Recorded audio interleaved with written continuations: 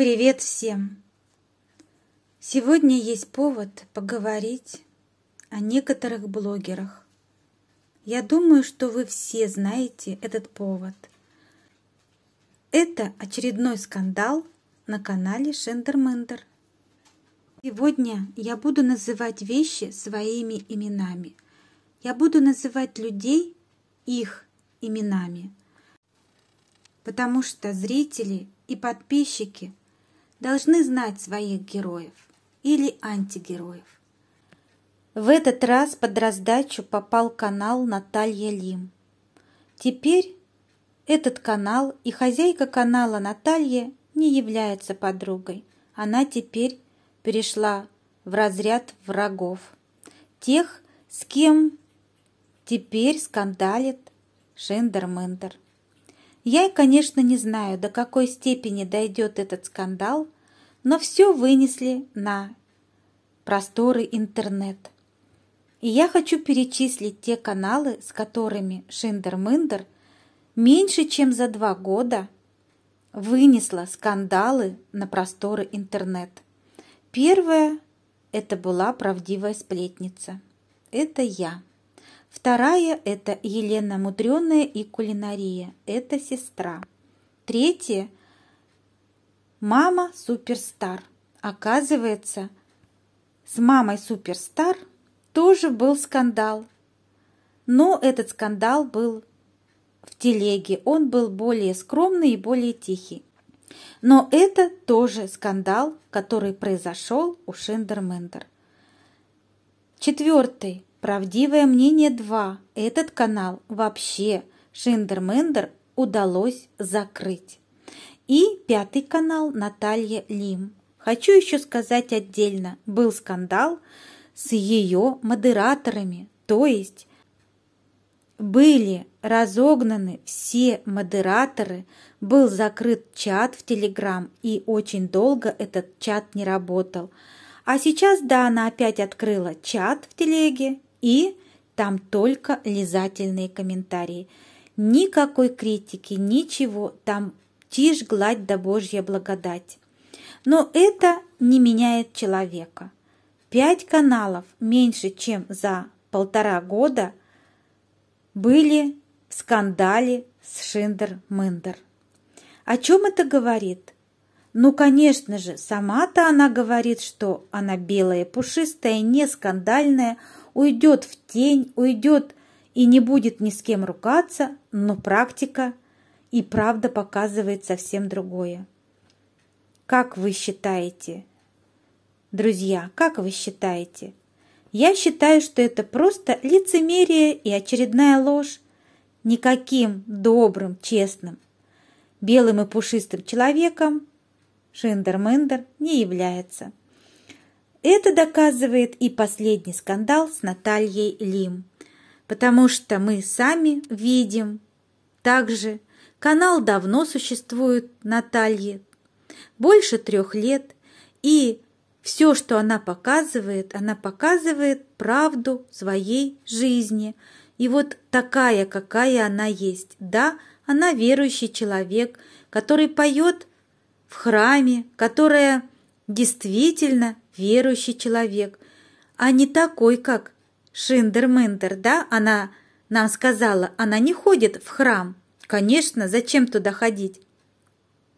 Таких в храм не пускают – как говорят, бесноватая, да? Вот так оно и есть. Потому что я все-таки думала, и мне хотелось так думать, что она притворяется, что она играет роль, но явно это не так. Она и есть такая, как себя показывает, да еще и хитрая, да еще и пытается манипулировать людьми. Ну, у нее, конечно, это удается. Вот после того скандального видео относительно Натальи Лим у нее под видео тысячу лизательных комментариев, а у Натальи Лим 3200 на момент записи моего видео. Вы представляете, о чем это говорит? О том, что сдулась наша Шендермендер, потому что иначе это назвать нельзя.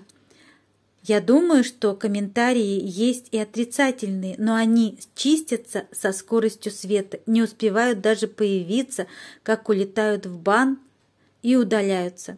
Чего не делает Наталья Лим. У нее есть, конечно, и комментарии, которые поддерживают Шиндр Мындр, но в основном, конечно, пишут, что мы пришли от Шиндр Мындр, но мы отписались от нее, а от вас нет – мы вас любим, вы нам нравитесь, мы вам верим. И я хочу сказать, что Наталья Лим действительно порядочный человек и действительно интеллигентный и культурный и верующий, и большая труженица. Она не скрывает свою жизнь, как это делает Шиндер Мендер. Она не приукрашивает ее. Она показывает такую, какая она у нее есть на самом деле. И она работает Работает, не покладая рук, вы понимаете? Вы видели в последнем видео, сколько она сделала работы. Это уму непостижимо, это очень сложная, ну, в общем-то, и хорошо оплачиваемая работа маникюрши. Чем она и занимается, чем она и зарабатывает на жизнь. А YouTube, как я понимаю, это ее увлечение. Но для Шиндр Мындр ничего святого нет. Люди для нее как отработанный материал, и я считаю, что Наталья ей нужна была в тот момент именно, когда Наталья появилась, это был момент начала скандала с моим каналом и с каналом ее сестры. И Шиндр Мындр просто воспользовалась Натальей и трясла ей как красной тряпкой, что теперь она ближе, чем ее родная сестра. И даже мать, которая вычеркнула из жизни свою дочь, называла Наталью любимым, любимой, любимой семьей. Но видите, как получилось?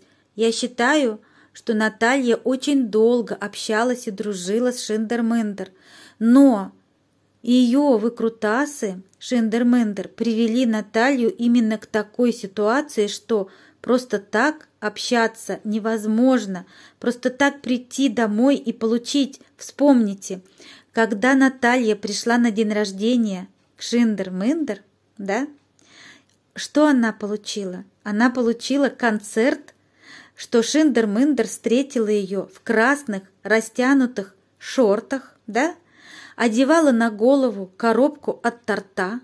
Она выставляла себя, ну, клоуном, а Наталья пришла к ней на день рождения с детьми, с интеллигентными детьми, которые учатся которые учатся в Питере на врачей, которые никогда не видели, что человек может себя так вести. Ну, какой-то э, трэш-контент, какой-то фильм ужасов был. Вы вспомните только, как вела себя Шиндр Мындр на своем день рождения в прошлом году. Я была в шоке. Я даже не понимала, то ли она пьяна, то ли она э, под какими-то сильнодействующими веществами. Ну и после такого, как ты пойдешь? Ты идешь по приглашению, да, и попадаешь э, черти куда, а когда ты идешь без приглашения, а вдруг там какая-то истерика очередная или еще что-то. Ну, как бы, когда человек болен, как бы ты ни дружил с кем-то, без приглашения приходить, но это мавитон, это э, как бы признаки бескультурия. Когда действительно Наталья была ей нужна и полезна, да, посидеть с детьми, э, воспользоваться ей для того, чтобы подразнить сестру, она с ней дружила. А когда Наталья стала ей невыгодна, ей стало с ней неинтересно, воспользоваться ей она больше не могла, потому что у Натальи открылись глаза, она видела все эти приключения, да? То, что показывала ей Ким. Ну, а когда Наталья ей стала не нужна, ее и приглашать уже не стали, да? Согласитесь? Ну и как нам поведала Наталья, что Раскрутить канал ей предложила сама Шиндер-Мындер. А теперь мы уже все знаем почему, потому что ей самой это нужно было. Ну так вот, получается, что когда Наталья стала Шиндр Мындр просто не нужна и не интересна, ее перестали приглашать и на день рождения, и на Пасху, и просто в гости прийти, то есть все. Общение сошло на нет, ну, как бы бывает. Зачем это выносить на просторы YouTube, как будто что и преподносить это своим зрителям как обиду, как очередной скандал. Зачем? Я думаю, что это тоже продуманный шаг, что Шиндр Мындр нужен трэш, нужно поднять свои просмотры, чем она и занялась в очередной раз. Вот и все, ничего личного. Я думаю, что сама Наталья ей теперь не нужна, так вот в последний раз она решила опять воспользоваться этим человеком, что она и сделала, как мы все с вами наблюдаем. Вот такая ужасная история произошла с каналом Натальи Лим. А ведь я была уверена, что это продвижение было просто как бы оплачено Натальей, но на самом деле это был намного хитрее и коварнее план. Так вот, еще я хочу сказать вам о том, что Шиндер Мендер воспользовалась Натальей еще и как маникюршей.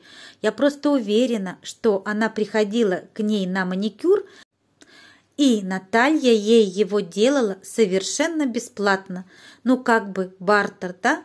А потом вроде бы они и подружились, но как с подруги брать деньги? Но на самом деле Наталья очень ошиблась. Никакой дружбы там не было, потому что Шиндермендер ни с кем не дружит, ей это не нужно. Она просто воспользовалась ей, как и многими другими. В общем-то, вот такая ситуация на самом деле произошла. И ничего хорошего от Шиндермендер ожидать невозможно. Этот человек – используют всех вокруг, в том числе и зрителей, только для того, чтобы пополнить свой кошелек, и не более того. Как она вам сказала даже на этом видео, где она обвиняла Наталью Лим во всех грехах, она сказала, мне все равно, я никого не собираюсь слушать, я живу своей жизнью, я живу так, как хочу.